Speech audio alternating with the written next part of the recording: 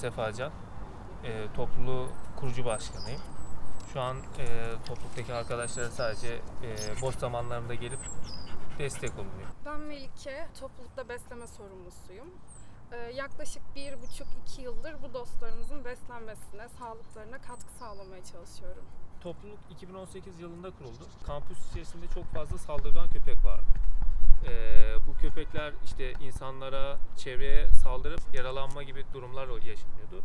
Bu problem çözülmesi için kuruldu ve e, kurulum topluluğun asıl amacı e, kampüs içerisindeki hayvanların birbirleriyle uyumlu bir şekilde e, bütün sağlıksal problemleri, iç dış parazit ve aşılamaların yapılması ve e, insanlarla uyum içerisinde yaşamasını sağlamak.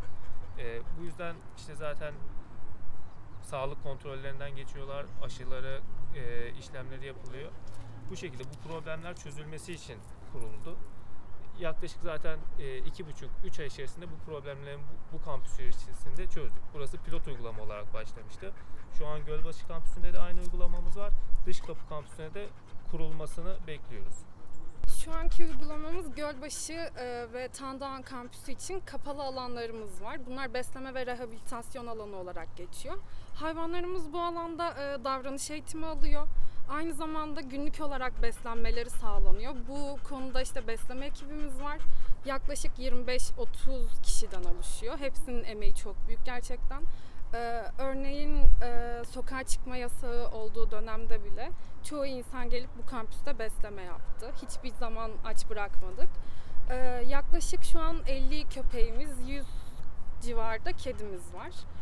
Ee, beslenmeleri genelde e, Instagram sayfamızdan gelen bağışlarla ya da e, şu an sponsor firmamız var Royal Canin.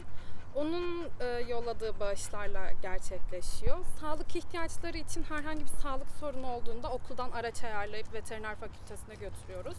Bu süreçte eğer durum çok ciddi değilse tekrar besleme alanımıza geliyor. Orada bizler tedavisini devam ettiriyoruz.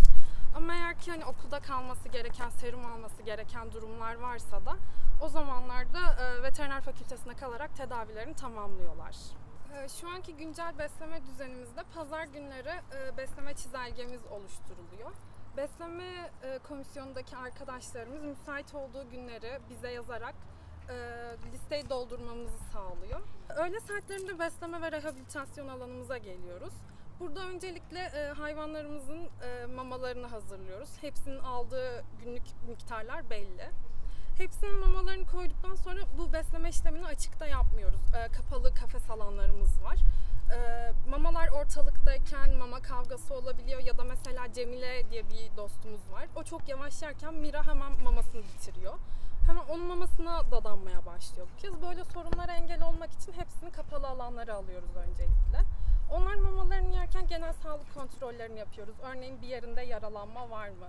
Ya da işte e, dokunduğumuzda acı hissediyor mu? Tüylerinde bir problem var mı? Bunların kontrolünü yapıyoruz.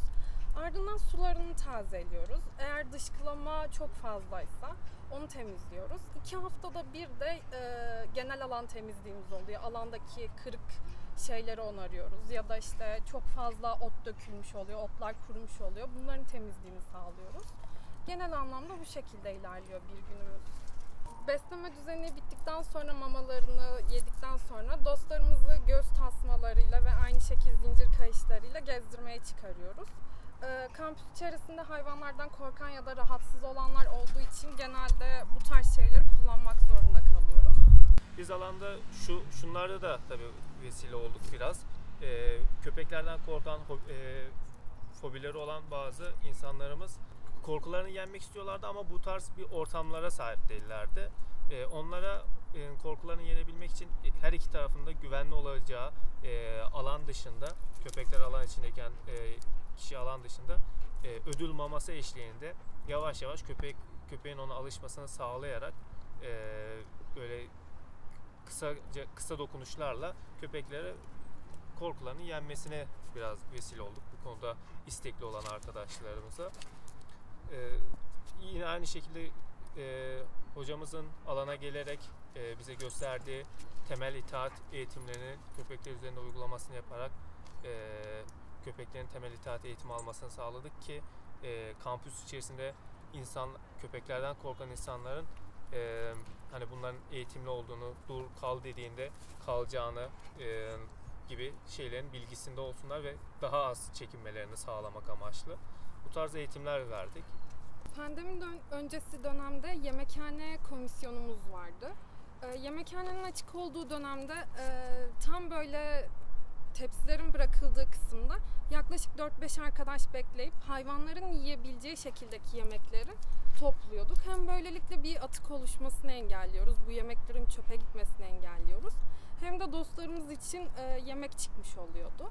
Ama bunlar genelde besin değeri açısından bütün ihtiyaçlarını karşılamıyor. Mamayla beslemek ilk önceliğimiz oluyor. Ama mama konusu desteğin konusunda da her zaman destek bulamıyoruz maalesef. En basitinden bir yoğurt kabı. Normal zamanda her evde çıkan bir çöp diyebileceğimiz şey. Ama bizim ona bile çok ihtiyacımız oluyor. Çünkü yeri geldiğinde biz bunu su kabı yapıyoruz. Yeri geldiğinde saklama kabı olarak kullanıyoruz. Bu tarz ufak ama bizim için çok değerli olan çok eşya var. Ya da kediler için kulübe yapımımız oluyor. Bunda da yine artık malzemeleri kullanıyoruz. Ya da izolasyon malzemelerine ihtiyacımız oluyor. Aslında hani şey böyle herkesin çöp olarak düşündüğü şeyler bizim için çok değerli olabiliyor.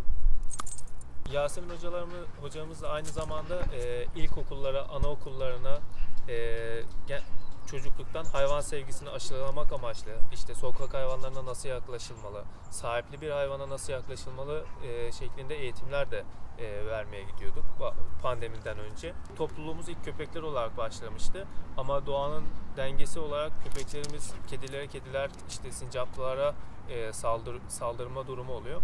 Kediler için korunaklı e, kedi besleme noktaları, su yerleri gibi noktalar oluşturmayı planlıyoruz. Aynı zamanda sincap için kaçış noktaları, e, çünkü bu kampüste bulunan sincaplarımız kızıl sincap ve nesli tükenmekte olan sincaplar olduğu için koruma altında olan sincaplar ve biz de buna özellikle çok dikkat ediyoruz bu konuda sincaplarımıza. E, hem onların e, nesillerinin devam ettirebilmesi için hem de e, koruya, kedilerden koruyabilmek için e, bazı projeler düşünüyoruz, yapmaya çalışıyoruz. Hangi üniversite hangi sıkıntılar yaşıyorsa e, olsun, işte problemleri nasıl çözmüş bu zamana kadar olsun, e, birbirlerimize bu konuda destek oluyoruz ki e, bir karşılaşım, bir, bir topluluğun bir yerde karşılaştığı problemin başka bir topluluk e, karşılaşırsa e, hatalar düşmeden direkt doğrudan e, bunları çözüm sağlayabilmeleri için e, aynı hatalara diğer topluluklarda düşüp zaman kaybetmemesi için e, birbirimize olabildiğince etkinliklerde destek sağlamaya çalışıyoruz ki e, çünkü veteriner fakülte bizim üniversitemizin veteriner fakültesinin olmasının büyük bir etkeni var. E, daha profesyonel, daha bilimsel olarak çalışılıyor. Bazen köpeklerimiz kampüs içerisinde salınık olarak geziyorlar. Ve kampüs içerisinde mesela patisine bir zarar geliyor. Çok ufak bir şey.